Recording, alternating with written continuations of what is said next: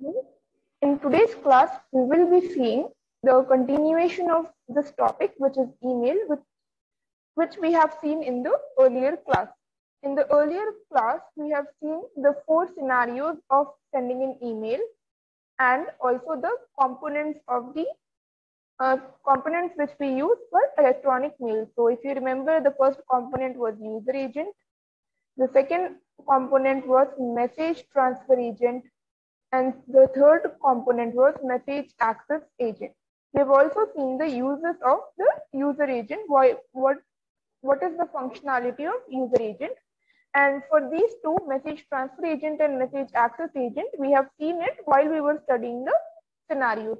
So now we will proceed with the continuation of this topic. So let's see now the format of email. So to send the mail, the user through a user agent creates a mail. Okay, so first to send the mail, we need to create a mail.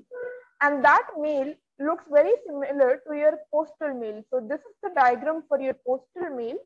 That is the letter that you write. And this is the figure for your electronic mail. So whenever you're writing the postal name, uh, sorry, the postal mail, it has an envelope and a message.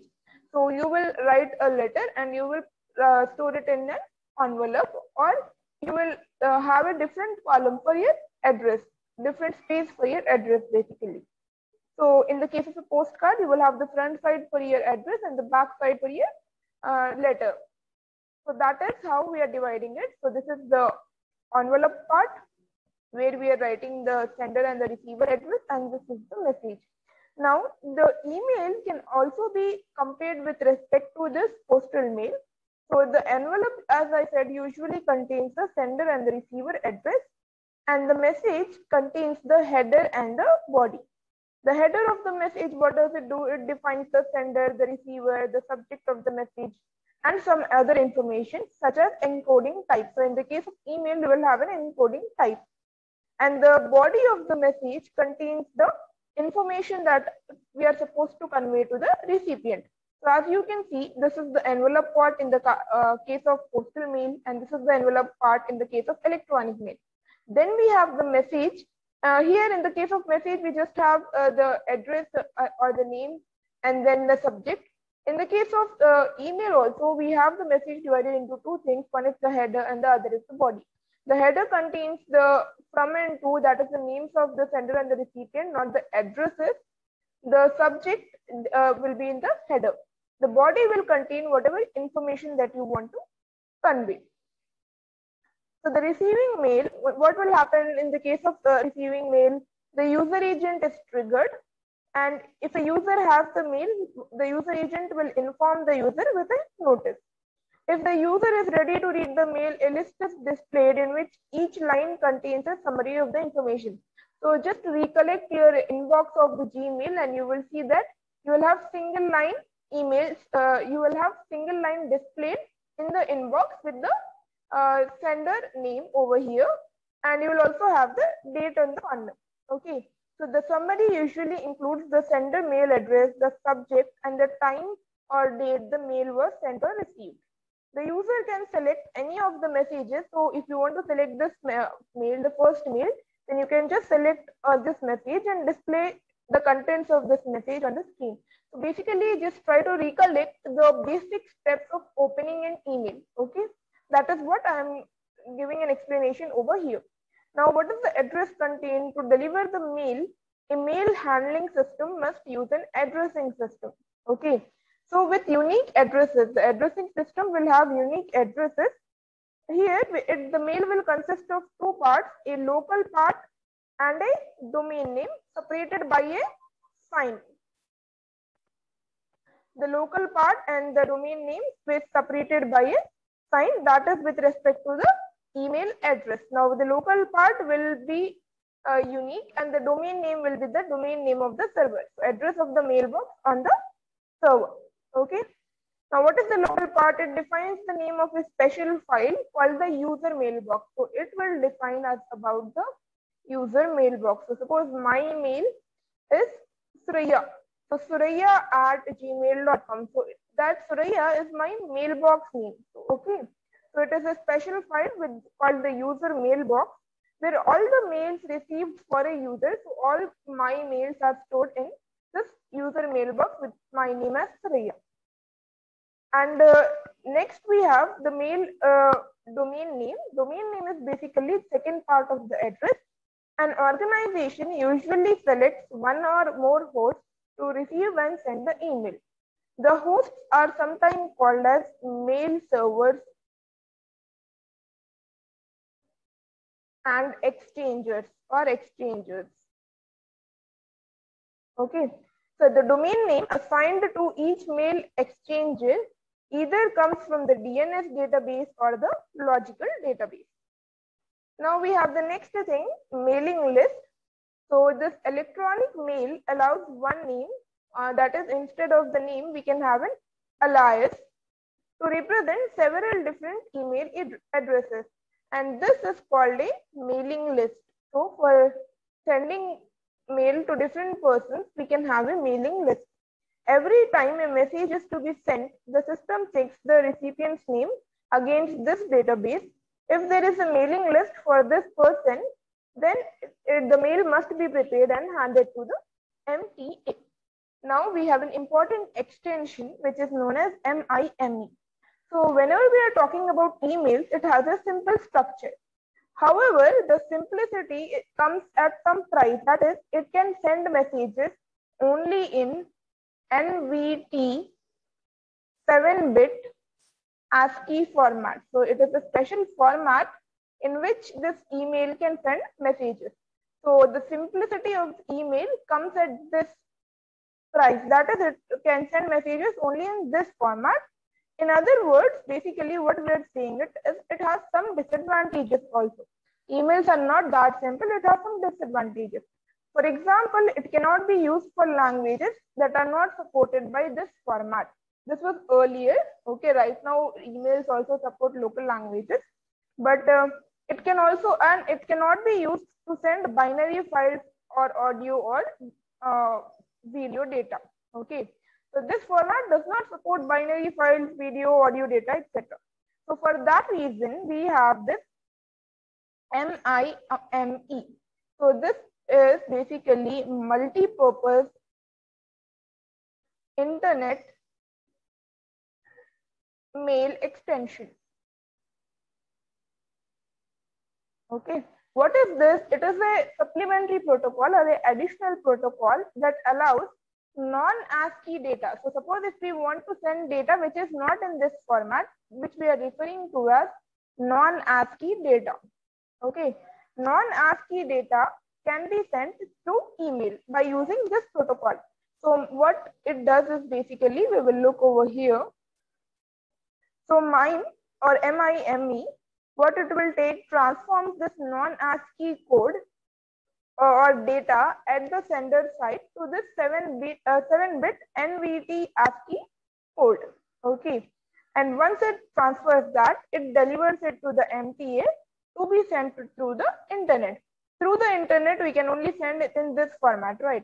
So MTA will again take at the receiver side, message transfer agent will receive the 7-bit NVT ASCII code. Again, MIME at the receiver side will convert it into the non-ASCII code so that the user can uh, read it or get the original message which was sent. So basically what is MIME? MIME can be thought of as a set of functions or software functions that transform this non-ASCII code to the ASCII data and vice versa. So this is a very important short answer. What are the functionalities or the services of MIME? So basically you just have to remember that non-ASCII code can be converted to 7-bit NVT ASCII code. And this is an important diagram. So with respect to MIME, uh, MIME also has a header and uh, MIME defines five headers that can be added to the original email header section.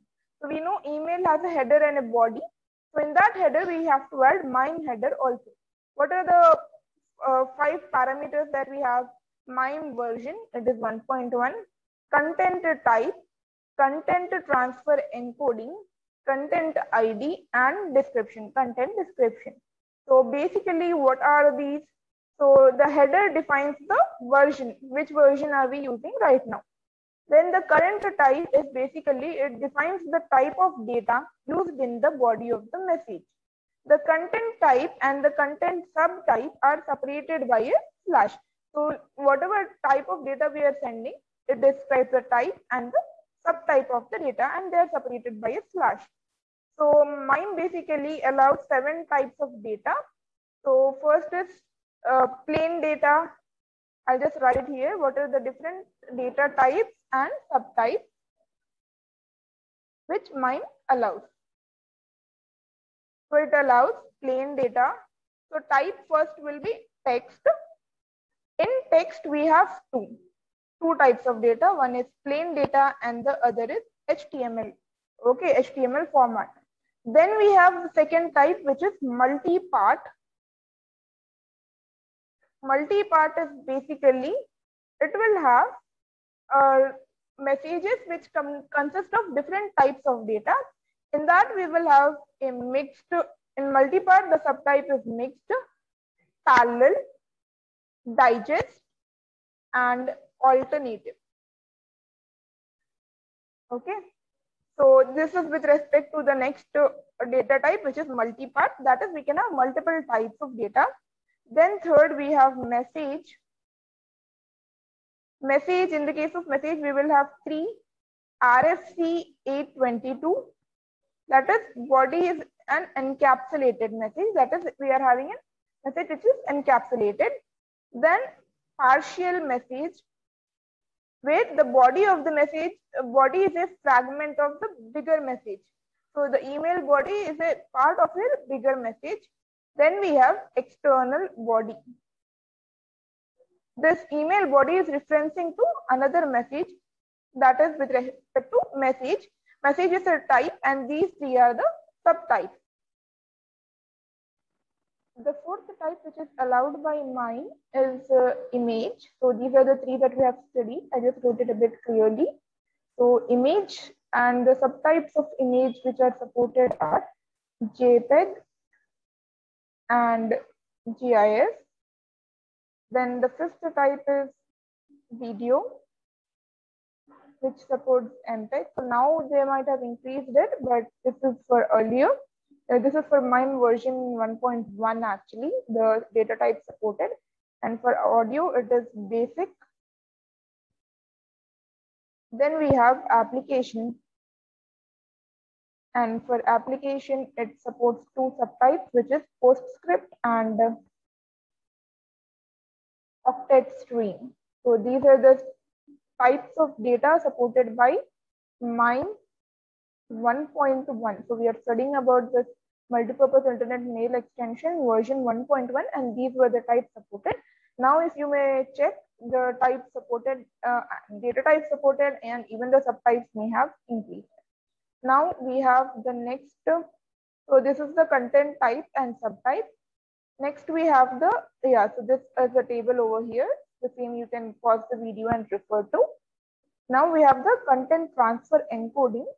This header defines the method used to encode the message into zeros and ones for transport. So content transfer encoding type might be 7-bit or 8-bit binary and 64 and quoted printable. Okay, so these are the different content transfer encoding. Now next we have the content ID. Content ID uniquely identifies the whole message in a multiple message environment. So this is with respect to MIME. Next, we have the message transfer agent, MTA. So the actual mail transfer is done through message transfer agent. To send mail, a system must have the client MTA and the uh, and to receive the mail, a system must have the server MTA. So MTA is basically the message transfer agent and in the four scenarios that we have studied earlier, we have seen the use of MTA. The formal protocol that defines the MTA client and server. So for this message transfer agent, the protocol that we use is called as the simple mail transfer protocol. SMTP. So this is the protocol which is used for this message transfer agent. And uh, as we said in the earlier scenario, two pairs of MTA client server programs are used in the most common situation, which is our fourth scenario that we have seen in the earlier class. So SMTP is used two times between the sender and the sender's mail server and between the two mail servers. So for, from the sender to the mail server, we use SMTP. And then from one mail server to another mail server, we use SMTP. Okay. So SMTP simply defines how commands and responses must be sent back and forth. Each network is free to choose a software package for implementation. Now SMTP uses commands and responses to transfer the messages. So here we can see MTA client commands and MTA server responses and these commands and responses are a part of your SMTP protocol. Okay, so each command or reply is terminated by a two character uh, end of line token. Okay. And the commands which are sent from the client to the server, the format of the command is written over here. So we basically have, it consists of a keyword followed by zero or more arguments. So SMTP defines 14 commands. So there are in total 14 commands which SMTP uses. The first five, so hello, mail from, recipient to, data, and quit. These five are compulsory. So these are to be used uh, in any scenario. So basically these are mandatory and every implementation must support these commands. Okay. Uh, the next three are often used and highly recommended. So six to seven, eight are often used and highly recommended. And uh, the last six are rarely used. So this is with respect to the SMTP commands. The next we have is the commands continuation. Yeah. So the send from send uh, and the indeed uh, small from and small from are the commands which are rarely used. So we have basically how many commands? We have 13, uh, 14 commands. First five are mandatory, the one reference with a star mark. The next three are uh, okay, are often used but uh, recommended. And uh, the next four are next five are very next six are actually very rarely used. So the first five mandatory till here. Let me use another color for the reference so yes the with red ones are mandatory. Then the next three are often used and high, highly recommended. So recommended are these ones with the pink one and the ones which are rarely used are these last six. Okay. So six, seven, eight are the ones which are rarely used. Now we have the next thing, responses. So responses are sent from the server to the client. So commands were from the client to the server. For responses, it is server to client. And a response is basically a three digit code that may be followed by additional textual information. So these are the few responses which are given over here.